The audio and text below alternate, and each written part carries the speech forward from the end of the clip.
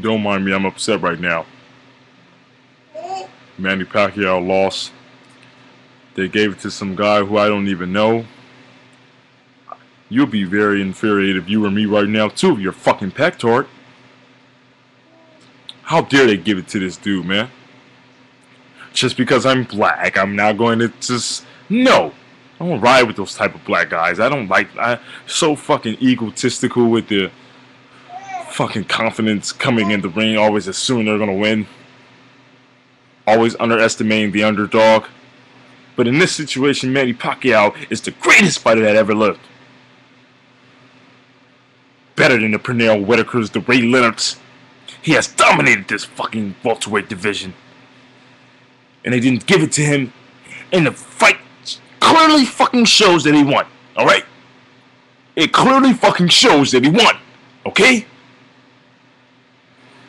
Damn, man. It's fucked up. Boxing, man. It's fucked up. Oh my god. Oh, I gotta go.